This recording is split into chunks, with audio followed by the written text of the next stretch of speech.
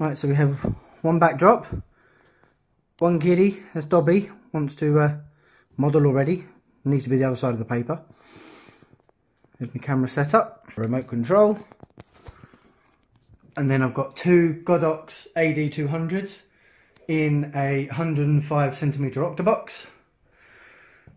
We've got Poppy down here, she sometimes likes to play, but no, no, see what we can get.